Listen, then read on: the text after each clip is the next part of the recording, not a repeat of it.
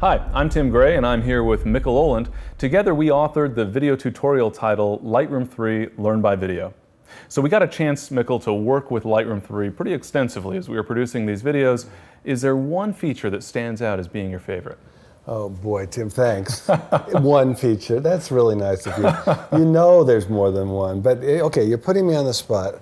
Um, I absolutely think it's fantastic with the new process version. I mean, uh, I wish I'd come up with this, but our friend Katrina Eismann came up with it. She said, You're not getting new software, you're getting a new camera. Right. So what's happening underneath the hood uh, is that Lightroom is, is processing your raw files from your earlier shots, your previous shots. Completely new algorithms. Absolutely totally new. so uh, noise reduction, sharpening, yeah. color, everything. You're getting fantastic results out of Lightroom 3 that, you know, we were pretty happy in Lightroom 2. Sure.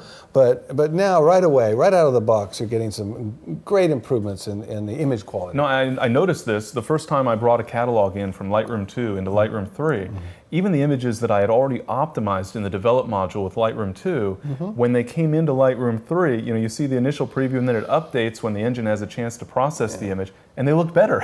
they look better than they had previously, yeah. even though I'm the one who had made the adjustments. And there's nothing to do; it's just auto, it's automatic. Right. So this is great.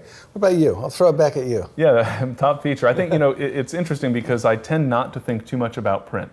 Mm-hmm. Uh, you know, I certainly print plenty of images, but it tends not to be my focus. Mm-hmm. And I've tended to think of the printing in Lightroom 3, well, in Lightroom in general, mm-hmm. as being focused more toward, you know, portrait and wedding photographers, mm-hmm. people who need to produce contact sheets or print packages to we, share with clients, for example. It's amazing how easy it is to do. It, it's very yeah. simple, but it's just, it's not a feature that I really put to use very often. Okay. But suddenly with Lightroom 3, mm. there's the ability to create these custom print packages. Wow, the layout, custom layout. Exactly. Yeah. And layout, yeah. I think, is the right yeah. word here because it no longer feels like it's just a print package, mm-hmm. like we're just sending multiple images to the printer all on the same page, mm-hmm. because now we can control the layout. We can move these images around, resize each individual image, add as many images and as we want. Multiple different images. As exactly. uh, before, it was had to be the same image. Exactly. And so we've got the ability to really customize this. And so I think yeah. of it more as producing a montage, producing a new piece of art almost, yeah, as opposed point. to simply creating a printout that has multiple images on yeah. it. I know a lot of photographers have been very happy with the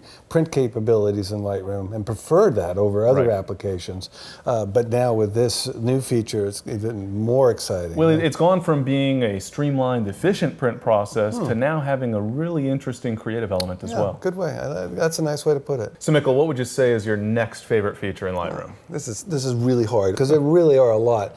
But if you're going to put me on the spot, it's going to be lens corrections okay. in the develop module because I think that is so cool. Remember that photograph I took of you in Graz with the fisheye lens? Yes, yes. I looked the a little distorted there. No, yeah, you look great. but I've always been envious of the the camera manufacturer software that would automatically uh, fix those uh, those distorted. Yeah, it, would, it, would, read the EXIF metadata, know which lens you used, and how to compensate yeah, for it. And Lightroom didn't, but now it does does. Right. So if you have a Nikon or a Canon or a Sigma lens, uh, a lot of those lenses, it'll automatically read from the EXIF data yeah, what the lens.